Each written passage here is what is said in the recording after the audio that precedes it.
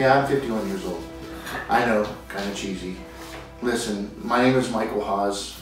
It's been a long time coming. I've been working really, really hard for the last couple of years building a 3,000 square foot standalone gallery. You know, I've been working so hard on it and I've got so many cool Star Wars fans and people in the community like you that are saying, hey Michael, you know, when are you gonna put it out there? And I'm like, I'm gonna put it out there. I've just got so much of my collection that I've got coming in and once I get it all in and where it's at, then, you know, I'll do a video on it. And uh, are we ever really done collecting? Really? no, we're not. So we thought, you know what, it's about time that we do this. And I want to let you guys know, um, I'm going to show you guys today a brief tour of the gallery. Once you see the gallery and you see these things, we might be going through a few things a little bit quick, but that's okay because we're getting ready to start a podcast. So on that podcast, we're going to be going back and going over a lot of the items separately. Um, just wanted to say thank you guys so much. Uh, you know, I just got an Instagram. I'm not a very techie person. I just now got Instagram. And, uh, you know, I had a guy shout out to me and say to grow up. And it's like, grow up? And I guess that would be considered as my first hater. And I'm thinking, grow up? Man, I'm not ever going to grow up. And, and if you are planning on growing up, I feel sorry for you. You know, what does Star Wars do for you? What does Star Wars do for me? How big is your collection? How small is your collection? Who cares? What does matter is what it does to inspire you, the fan. Whether it's a collection of cards. I love cards, you know? I collect these things. And some people might just, and what it did for them when they were seven or eight years old. Star Wars, all it does is inspire. You know, it's, it's happy, and we need that in this world. But I just wanted to say one more time, thank you so much for for you know taking time to, to watch my channel and I hope that you like it. It's the first one and thanks so much for joining me, okay? Look forward to talking to you. Bye-bye.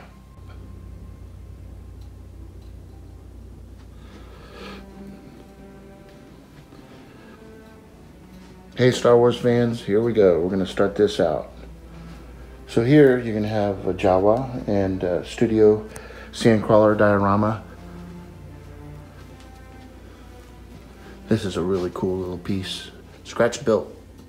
It's amazing. Gotta have Jawas with it. Those are life size right there. Right here, movie posters, as you might know. I keep a lot of stuff. This right here is when I was a little kid. I used to want to get a job either at Kenner. I, I, wanted to be a part of it. So I was into the toys. I wanted to make Star Wars toys, and then you know I went on to want to make movies and reached out to Lucasfilm and all those guys. Here's a life-size Luke Skywalker. He's an amazing piece. Amazing piece. Working on his body right now, trying to fill him out where he doesn't look like a mannequin. We're getting close.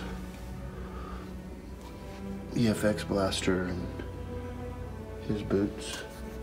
And this is one of my main pieces right here. This would be the Mighty Chewbacca. He's an awesome one. You know, unfortunately, we lost Peter Mayhew, um, the gentle giant who portrayed Chewie. And three weeks before he passed away, I was lucky enough to get him to sign this pouch at uh, Celebration in Chicago. He was already not feeling very well at uh, Chicago. Tom Spina, Regal Robot, the guys over there did this life-size piece. These are some more uh, Tom Spina Regal Robot pieces. And also joining me is my daughter Haley. Haley, say hello. Hi. She's a fan. Say hi to R2, Haley. Hi, R2. Say hi, R2. Oh, what's the matter? Are you sad? This piece right here uh, was it's got a lot of history behind it. You see, uh, we got Kenny Baker's signature on there and Kenny signing it. It's a really, really cool piece. Oh, cheer up, cheer up. And then we got right here, Don Post C-3PO. We built the base for it. What's the matter with you? Okay, yeah, we'll stay up here for a little while. This right here is one of the holy grail pieces of my collection. I waited almost two years to get this scratch built studio Death Star.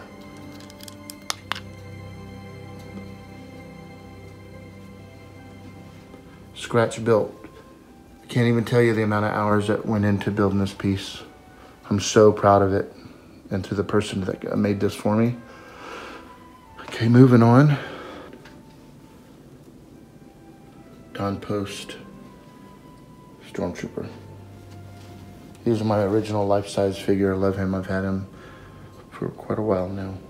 I had the Boba Fett as well, number five Boba Fett through Don Post, but unfortunately I made the dumb decision and sold it years ago and I just never got it back in my collection. I'm sure a lot of you are into the hot toys.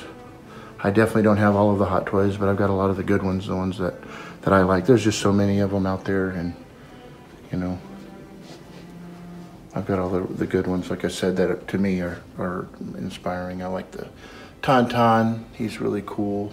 My favorite of them all is the Sideshow Dewback. That piece is really, really fun. Really, really cool. And behind us, we have a 16 foot trench. This actually took two years to make and it does light up. I'll show you right here. It's a remote. Boom. You can see the lights will come on right here. You got there. And just kind of to give you some scale. Haley, would you mind standing right there? Mm-hmm. Give them an idea of how big this thing really is. Really cool.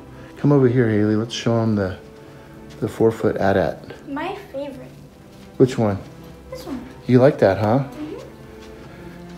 Yeah, this is another scratch built. It's unbelievable. It's got an aluminum armature on the inside for durability. It does have, the lights aren't on right now, but his head does light up. It's got, it's red right there. And this is an MPC snow speeder. That's baking soda for snow. And back into the trench, we're going to be doing a video just on this trench because I can tell you a lot went into it. That's a Salzo X-Wing. If you look really, really close into the cockpit, you'll see Luke and see right here the exhaust port. These are, are these tiles here, there's about 14 different total tiles that they used that I know of anyways. And um, these have been scaled down because they're usually like almost, I'd say almost two feet each tile when they made from the original one. But these right here are six by sixes, but I think it gives it more of a in motion look, which is really, really cool. And it has, you know, the little cannons. Those are all separate. Let me show you another one here.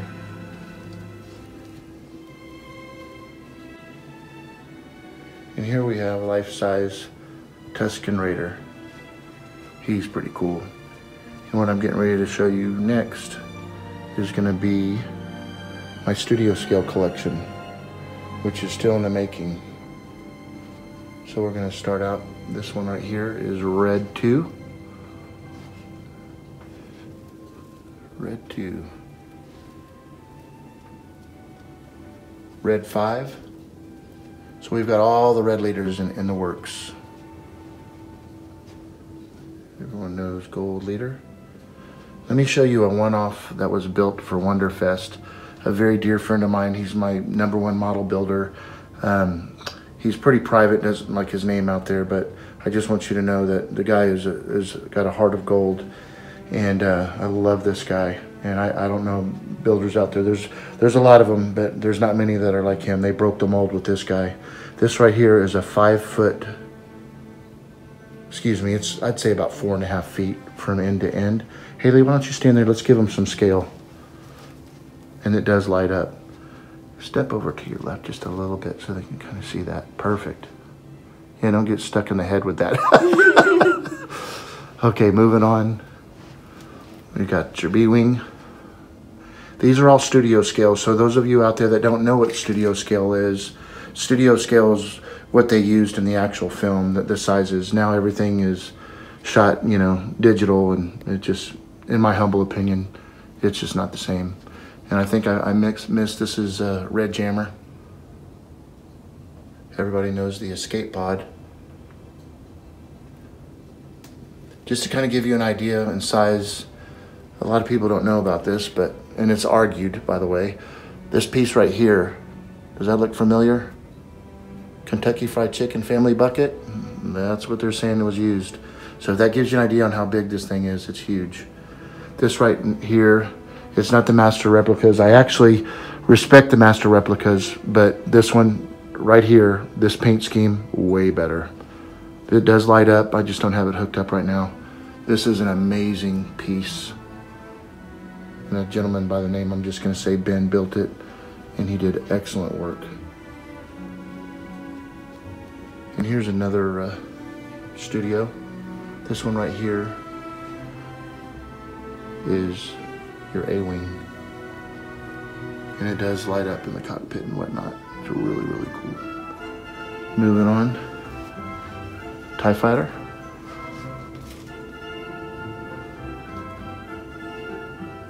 Your hot dog. This one's pretty cool. You call it actually a chili dog. That's what the guys in the model shop called it. Your TIE Bomber. TIE Interceptor. Love that piece. Gentleman Randy Cooper scratched this Corvette piece early on.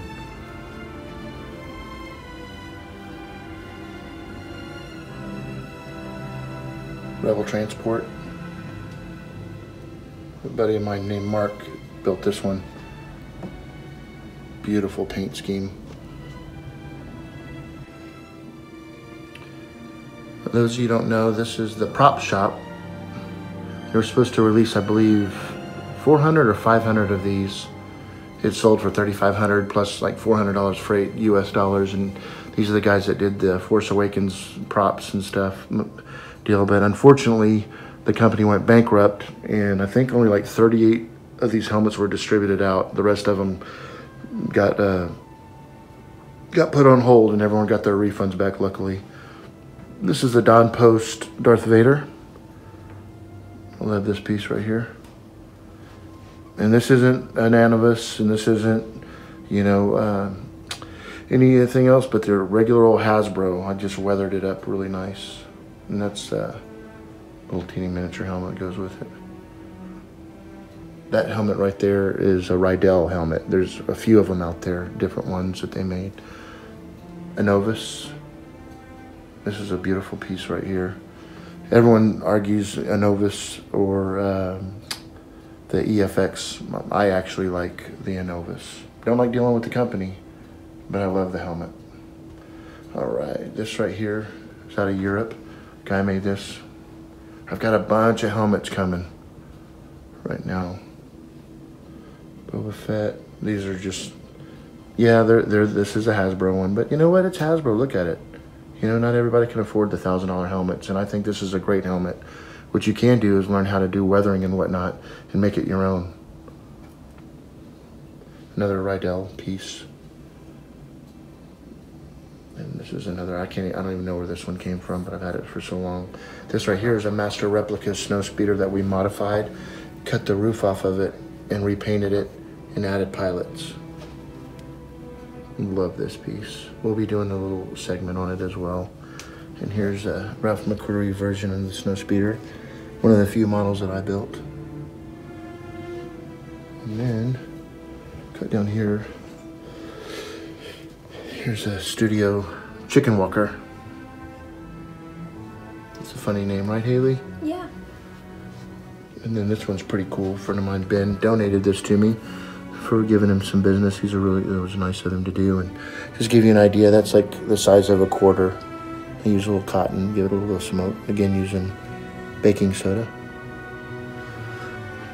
This is another 3PO piece that came out of Europe. It does light up. Um, this piece right here was like 2,000 bucks and I got it with the Don Post piece. And my plan was at Celebration to get it signed, but uh, that was canceled obviously. Okay, this right here is a life-size Gentle Giant. They call it the Monument. It's basically a recreation 3D print of the original actual Star Wars figure. I love that piece. My favorite piece, though, was R2D2 because that was my first action figure. Gentle Giant came out, uh, for those of you that don't know, a 12 inch line. And I have pretty much all of those. There's a few of them that I've got my eye out for still. These are pretty cool. You know, we were going to do a tutorial on this piece right here because those of you that have this piece, I know are having the same issues that I had with this thing crinkling up and whatnot. And we fixed all that and it's solid now, like this one was done. So to go over the 12 inch line of the Gentle Giant, and I have the uh, vintage carded pieces. Everyone knows the vinyl cape Jawa, right? Well, I've got the vinyl cape Gentle Giant one coming in, and it's going to be right there behind that one, right there. Moving on. I don't know what it is about these, but I just I love them. I love these this line of figures. Isn't that cool art? I love them. And then this one right here, I told you my first action figure. This is the R2 monument. And it even clicks. Here, hold that, Haley. You got Okay. that? Yep. Okay, look, watch this. It clicks. It's a very loud click, but it clicks. Yep. Yeah, I love this piece. It's really cool. Look how big this thing is. It's huge. Okay. Thank you, hey. You're welcome. These right here are custom panels. And you look at the original New Hope when uh, Luke and Leia are getting ready to swing across the deal. If you pay close attention, these are the same exact type of lights that were used in the film as well. And this piece, boom, just finished it. Almost seven foot four, IG88. I'm very proud of him. Are you? Yeah. Yeah, you helped me with the paint and stuff, didn't you? Yep. This is the only 3D printed, excuse me, 3D printed piece that I have. But I'm gonna tell you what, the guy Patrick that did this, phenomenal, and of course the guys that did the original, uh, the computer animation stuff to make this stuff where it's printable and stuff. I don't know how they do it, but it's amazing. And we robbed this out of Mandalorian and put this in his chest, and then lit his eyes. I do have two of his rifles, and we're working on his bandolier as well as his chest pad. So, and then the plan is, is I'll have Boba Fett life size right there, and we're gonna have to find another room for R2. Vintage line. Here's the vintage. I'm gonna be brief about it, but I have everything that was released in the U.S. and uh, some of the other countries as well. Beautiful pieces here. You big collectors are gonna know what's up.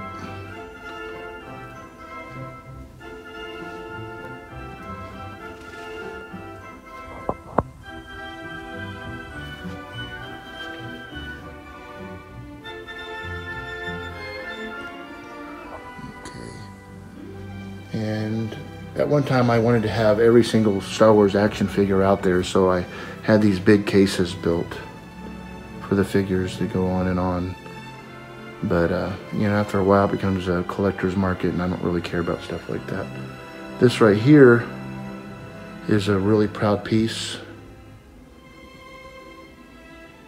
This is a studio scale Salzo X-Wing in the swamp.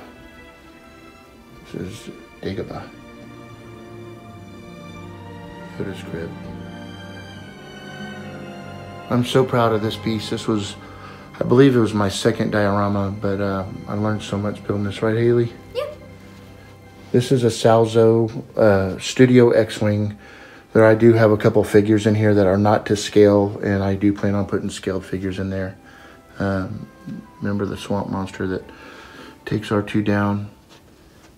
I took real images of the original Yoda's pad and recreated it here. I love it. Okay, moving on. If you're not familiar with Attakus, this is an unbelievable piece for all those collectors out there that know Attakus. If they don't have it, they surely want it. It's a really hard piece to get, and it was an issue because it was so heavy, and by the time it made it to the States, it was in a million pieces. And I'm lucky and fortunate to have it because that piece right there broke two times in transit, and the third one they wouldn't even call me anymore. So I ended up getting this from them years later. And beside, you know, instead of bringing up the fact that you know I never got my original piece, I know I wouldn't. So I ended up having to pay like two thousand bucks at the time for it. They had it just laying around there, and luckily I was able to get them to ship that to me. These are also some really cool little grail pieces. A guy that used to work for Attakus, I was able to get a lot of the prototypes for this.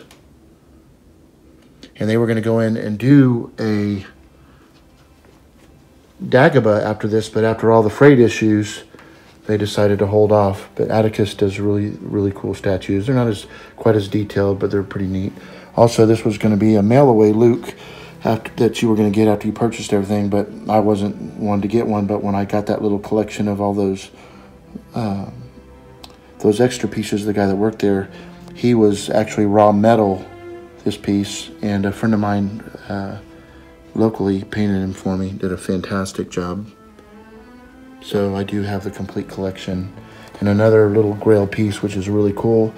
They went into production well, not necessarily into production, but the prototype, I'm sorry, was this piece right here. This, sorry, it's just a picture. But this is when they were going to come out with the, uh, the Attakus pieces. Well, in that was this piece right here. And this is metal. And I was so excited that I got that. The thing weighs a ton. But that's one of their little prototype pieces that never was released. That neat? And here we have a Studio Twin Pod Cloud Car. You know, another boring uh, ship, but God, I, I love it. It's, it's real base, like the Rebel Transport, but I love the Rebel Transport as well. Great, great paint scheme. Pilots are really cool. This one does also have LED lights where the, they shine up their faces. I just don't have the electric run yet to the actual uh, stand. And uh, this right here lights up really nice and bright blue. It's really cool. And in the background, we got a little Ralph McQuarrie concept. I thought it'd be cool to have the concept of the twin pod with the released studio twin pod. Haley, stand right by this. Again, let's give them some scale, how big that is. I would say that thing is right under I'd say maybe 18 inches long. It's a pretty big piece. Thank you, Haley. And uh, a couple more statue pieces here. I didn't show you all the statues. There's so many of them. And then, of course, the legendary scale. I love this piece right here, the legendary sideshow Obi-Wan Kenobi. What I was real excited about when I found out they were going to come out with the Darth Vader, but what I didn't like is the fact that they posed Darth Vader in a different way to where I couldn't have him next to him like they're dueling, which would have been badass, but that didn't happen. Still. All right, guys. That's the quick tour right now, but I will tell you that I will be back to show you much more of the collection and more details about the collection. 3,000 square feet of fun. Grow up. Never will we grow up. May the force be with you guys.